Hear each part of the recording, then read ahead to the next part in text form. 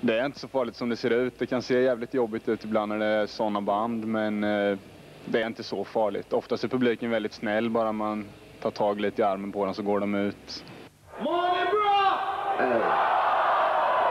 Har ni klart? Får grabbarna från förorten? The Latin Kings. Hur känns det att vara tillbaka här i år igen? Känns helt okej alltså. Känns bra också när det är fint väder som idag. Ja, det är kanon. Eh, förra året hade ni inte riktigt så här stor scen. Det räckte inte till riktigt förra året. Det var bra tryck då. Ja, det var bra tryck kan man säga. Men i år är inte heller så stor scen, men det kanske är bättre ändå. Det går nog in mer folk där tror jag i alla fall. Ja. Eh, hört att ni har en ny skiva på gång. Stämmer det? Ja, det är en spansk version av svenska albumet. Den kommer släppas i Sydamerika. Ja, det är alltså augusti. ja, samma låtar som Tillbaka till förorten. Ja, ungefär. Det är ett par nya. Varför gör ni så? Vi passade på det. Ja, vi höll på att göra, heter det? Svenska albumet. Ja, ja. Jag tyckte det var en bra idé. Ja, ja. Vad blir det för låtar idag då? Blir det varianter bägge två då eller? Eller blir det svenska va? Svenska. Mest. Ja.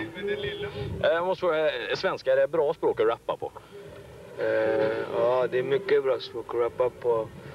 Men det, det har inte blivit så där respekterat än, du vet. Men det, jag tror att det kommer komma, du vet, med tiden tror jag.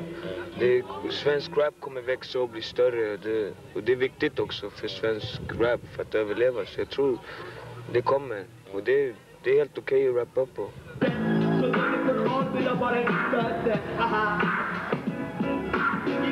Haha. I dubbsäck och duscha får jag pissa, pissa. Borde jag pissa? När jag väntar på ryggsäck och vässar kursen. Såg ut att vara sitter där 18 år. Stora gröna ögon och ljusbrunt hår. Hon luktade gott, hon luktade Lulu. Det enda jag tänkte var hon. Bussen kom, jag gick in. Hur fan kunde du vara så fri? Vad väntar ni er av spelningen här i Hultsfred nu då? Kommer det bli tryck? Ja, vi hoppas att publiken kommer vara bra, det kommer vara röj. Och att folk går härifrån och känner att de är nöjda. Att vi har gjort en bra show. Det är det viktigaste. Ja, det har ni lyckats med innan. Eh, Vad, eh, annars eh, nu under sommaren, vad händer förutom Hultsfred?